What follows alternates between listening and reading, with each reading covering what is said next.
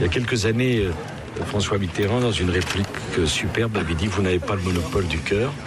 Moi, je laisserai le monopole du sectarisme à tous ceux qui veulent être sectaires. Moi, je ne veux pas l'être. Élu, Nicolas Sarkozy, avec 98% des voix, il était seul candidat. Al-Qaïda, euh, ce sont des chiites ou des sunnites? Al-Qaïda, c'est une mouvance. Et des chiites ou des sunnites?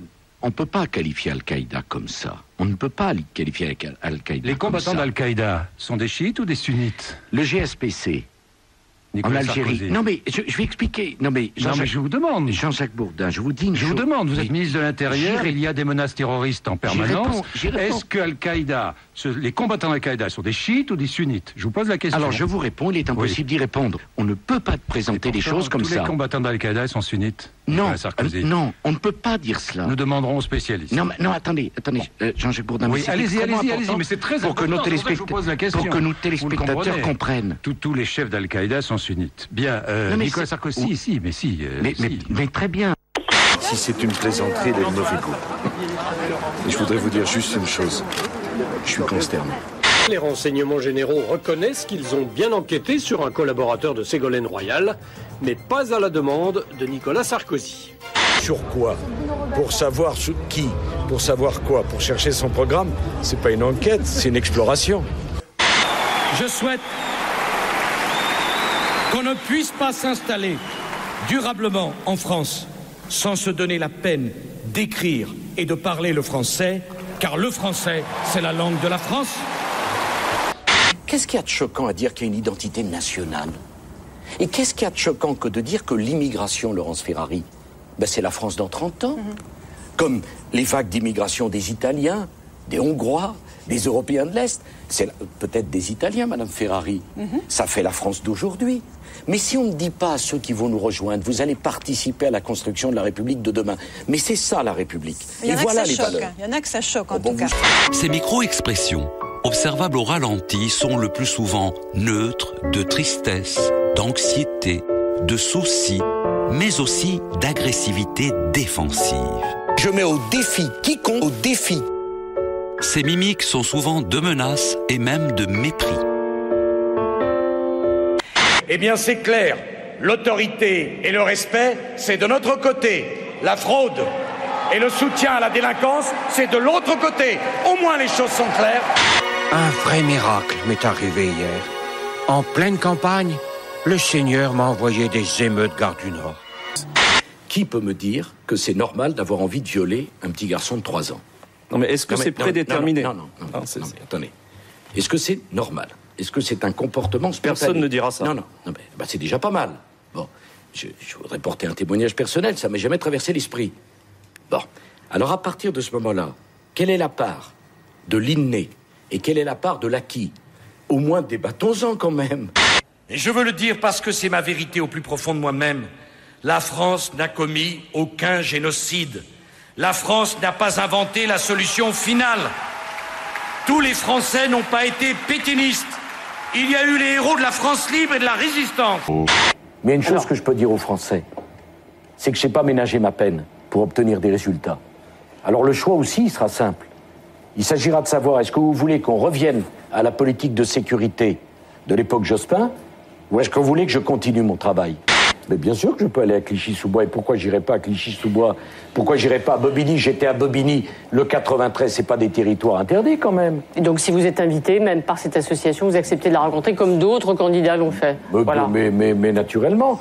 Et, et, même euh, à Argenteuil, pourquoi pas? Bon. Mais vous dites toujours, non, c'est de visiter Argenteuil, vous irez. Mais naturellement que j'irai à Argenteuil. Pourquoi j'irai pas à Argenteuil? La France ne travaille pas assez alors que les autres travaillent davantage. Il ne s'agit pas d'obliger les gens à travailler. Il s'agit de laisser ceux qui veulent travailler plus pour gagner plus pouvoir le faire. Le mur des 35 heures, nous l'aiderons à le surmonter. Parce qu'empêcher de travailler celui qui veut gagner davantage, c'est une stupidité. J'ai confiance en vous. J'ai confiance dans l'avenir de l'île.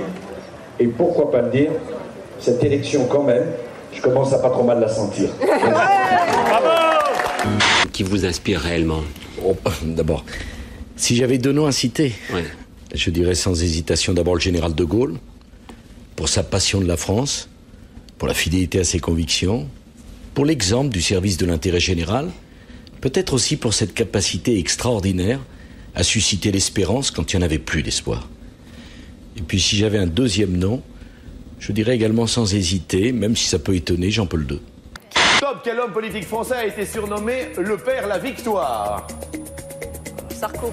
Non, top Huit jours, mes chers amis, huit petits jours pour créer les conditions d'un rassemblement immense, pour porter une majorité, pour construire pour les cinq années qui viennent le pays le plus prospère au monde. Huit jours pour le pouvoir d'achat. Huit jours pour le plein emploi. J'ai rigolé. Alors plaisanter avec un journaliste, vraiment, c'est pas mon genre. C'est vrai. On va dire qu'il y a le sens de l'humour. Alors c'est un truc, vous imaginez. Vous en connaissez beaucoup, vous, Bah, journalistes comme les trois l'humour qui sont devant Bah, vous, À part les euh, trois sympathiques qui sont là. Ce premier tour, c'est qu'un tour de chauffe. Ce premier tour, c'est qu'un commencement. Ce premier tour, c'est qu'un début. Ce premier tour, c'est une mise en jambe. Ce premier tour, c'est une première étape. Alors je vous demande d'y croire. Je vous demande de faire de mon combat votre combat. Monsieur Sarkozy, vous êtes confiant? Oui, on annonce les résultats là ou quoi? Euh, non, pas encore. C'est à 20h. C'est dans combien de temps? En quelques minutes. Ah Vous vous sentez comment à quelques minutes? Je suis très bien, je suis cacan, coco, zen zen, je suis serein, tout va bien. En tête, Nicolas Sarkozy, 29,6% des voix devant Ségolène Royal, 25,1% des voix. Je veux dire à tous les Français qui ont peur, qui ont peur de l'avenir, qui se sentent fragiles, vulnérables, qui trouvent la vie de plus en plus lourde, de plus en plus dure, je veux dire à tous ces Français que je veux les protéger. J'ai dit que j'étais ouvert au dialogue. Enfin, on n'a jamais vu une finale de la Coupe du Monde où c'est ceux qui arrivent troisième et quatrième qui exigent de jouer la finale. Je n'ai jamais dit ça à Zouzbegag pour une raison simple, c'est que je crois que je ne l'ai jamais rencontré.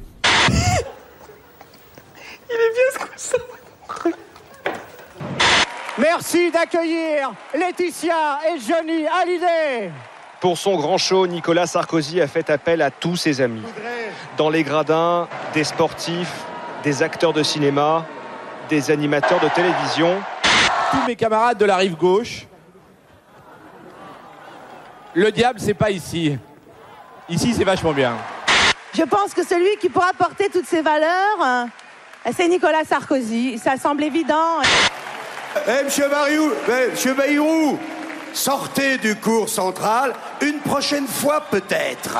La seule attaque contre Ségolène Royal viendra d'une femme. Nous n'avons pas besoin de quelqu'un qui change d'idée aussi souvent que de jupe. Et les amis intimes également qui étaient présents euh, à Bercy, dont on a pas mal beaucoup parlé dans cette campagne, en l'occurrence Martin Bouygues et Arnaud Lagardère. Je lui ai dit euh, à quel point je lui apportais mon soutien et mon engagement euh, dans euh, ce combat. Les héritiers de mai 68 avaient imposé l'idée que tout se valait, qu'il n'y avait donc désormais aucune différence entre le bien et le mal. D'ailleurs, il n'y avait plus de valeur, plus de hiérarchie, ils avaient réussi, il n'y avait plus rien du tout, et eux-mêmes, c'était pas grand-chose. Qu'est-ce que c'est mai 68 Mai 68, c'est une aspiration à la liberté individuelle. Par exemple, les femmes ont profité de mai 68 et au bout du bout, elles ont profité de l'interruption volontaire de grossesse. C'est Simone Veil qui a porté la loi en 1975 et Simone Veil aujourd'hui soutient Nicolas Sarkozy. Euh, dans cette aspiration à la liberté individuelle, il y a aussi le droit à chacun de choisir sa vie. Et dans une France corsetée par les années 60, où l'Église avait un grand poids, un progrès a été de ce point de vue accompli quand on a pu divorcer. Eh bien, il faut savoir que si Nicolas Sarkozy, c'est pas improbable, arrive à l'Élysée, ce sera le premier homme divorcé qui entrera à l'Élysée. Parce que la façon, là, dont vous venez faire de l'immoralité politique par rapport à une politique qui a été détruite et à laquelle je tenais particulièrement, parce que je sais à quel point cela soulageait les parents de voir leurs enfants accueillis à l'école. Et c'est vous qui avez cassé cette politique-là. Et aujourd'hui, vous venez de promettre comme ça, en disant aux parents, vous allez aller devant les tribunaux. Non, monsieur Sarkozy, tout n'est pas possible dans la vie politique. Tout n'est pas possible. Ce discours, cet écart entre le discours et, des a- et les actes, surtout lorsqu'il s'agit d'enfants handicapés, n'est pas acceptable. Et je suis très en colère. Et les parents et les familles qui vous en... Et les parents... Non, je ne me calmerai Ne montrez pas. pas du doigt avec Non, ce- si, cet index non. pointé parce que franchement. Non, je, ne me calmerai vous pas. dire- je non, voudrais- je ne me calmerai pas. Bah, pour- je ne me calmerai pour être pas. président de la Parce que République, il faut être l'exploit- calme. Non. pas quand il y a des injustices. Il y a des colères qui sont parfaitement saines, parce qu'elles correspondent à la souffrance Royal, des gens. est-ce que vous me Et il y a des de colères que j'aurai, même quand je serai présidente de la République. Si ça avait Mais- été un débat entre deux hommes, ça aurait été très différent de ce qu'on a entendu ce soir. Ça aurait été moins agressif. Merci beaucoup. C'est passé comme vous l'imaginiez? Oui. C'est-à-dire? Secret de fabrication. Riverains, enfants, badauds et journalistes se pressent devant l'école maternelle pour serrer la main du candidat. Les électeurs ont laissé avec bonne grâce Nicolas Sarkozy voter sans attendre. Et c'est assez incroyable parce qu'il y a vraiment la même mobilisation des militants euh, PS à droite, des militants euh, UMP à gauche. 5, 4, 3. C'est Nicolas Sarkozy qui est élu président de la République avec 53% des voix. Je veux dire à tous les enfants à travers le monde, à toutes les femmes martyrisées dans le monde, je veux leur dire que la fierté et le devoir de la France sera d'être à leur côté. Monsieur Sarkozy, en fait, arrive au Fouquet's, où des amis à lui sont en train de l'attendre. Et, ce matin, eh bien, on a revu réapparaître Nicolas Sarkozy et son épouse qui sont sortis euh, du Fouquet's où ils avaient passé une partie de la soirée d'hier où apparemment ils étaient euh, retournés hier soir. Nicolas Sarkozy, président de la République, en jean. C'est à noter, c'est un nouveau euh, signe peut-être de la modernisation de la politique française. C'est vrai qu'on se croirait un petit peu à Cannes. hein. La cérémonie euh, euh, d'ouverture de Cannes, ce sera ce soir. C'est à des faux airs de Cannes. hein. Robe de soirée, euh, etc. Très présente, regardez ce magnifique trio. Pas de bracelet, pas de pendentif. Voilà, pas de bracelet, pas de pendentif, un maquillage donc très très discret. Euh, Est-ce que ce sera le style le style Cécilia pendant ce, ce quinquennat, c'est-à-dire un mélange à la fois d'élégance, de classe. Elle est belle et en même temps elle reste très Elle est sobre. Oui, elle n'est pas très apprêtée. Ces deux hommes qui sont tellement affrontés, qui ont beaucoup parlé entre eux. Et voilà maintenant une, un passage au témoin. Je vous laisse écouter les acclamations dans la cour de l'Élysée. L'hommage de Nicolas Sarkozy à Jacques Chirac, il l'applaudit. au Il applaudit lui-même. Je pense qu'effectivement c'est quitte le palais Voilà, le signe. Et on a vu que juste avant. Et également la main qui sort. Voilà cette tradition hein, de la main du, du président, de l'ex-président maintenant depuis quelques secondes.